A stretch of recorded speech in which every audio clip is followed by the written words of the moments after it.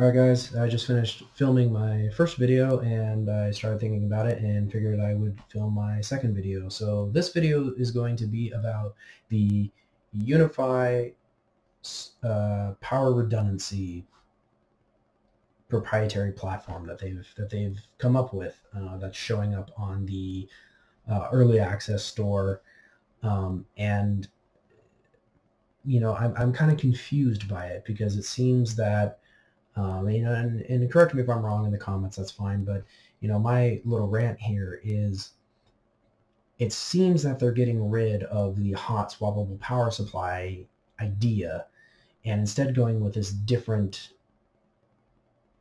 power solution that kind of confuses me in every way. And if they are getting rid of the hot swappable power supply um, method, then it raises a lot of questions to me. And if they're not, then great.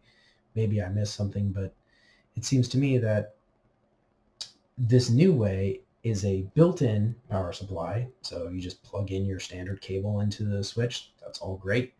Um, and then you have this weird lots of pins connector over on the other end to which you plug that into a rack mounted power supply box that you know, it takes up more rack space.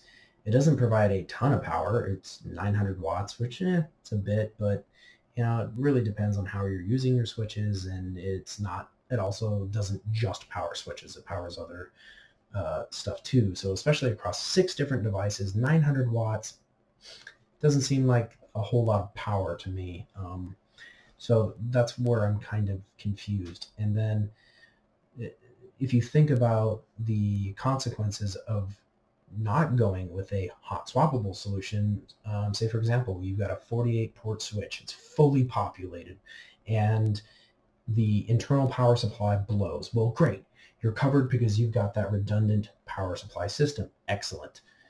You, you didn't go down. You can now go ahead and schedule some downtime to bring the network down and take care of that problem. However, that problem isn't as simple as going slide out power supply, place that over there, grab new one, slide in new one, done.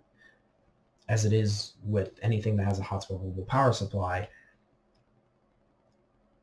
the issue this creates is now you have a 48 port switch with 48 cables in there if it's fully populated that you now have to label every single one to where it goes depending on your use case scenario obviously but there are many scenarios where you do need a label where each one goes. You know, for example, if you have every port tagged to a different VLAN or, you know, even some of them are tagged to different VLANs or whatever, you really want to make sure, you absolutely want to make sure that every single port is plugged right back into where it was.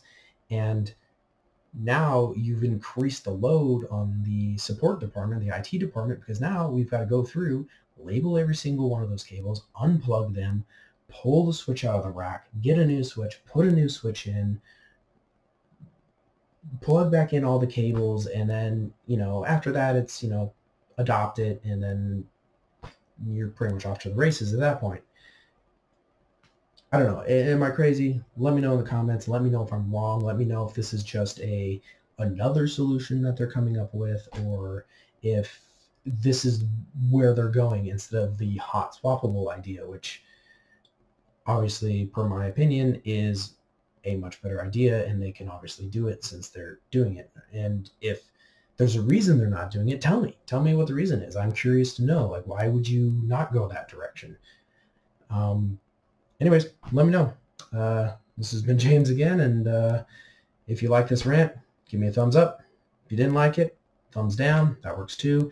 Uh, if you do like it, please subscribe. Hit the bell icon to get notified when I rant again and um, I'll try to bring you guys more content. Thanks for being there.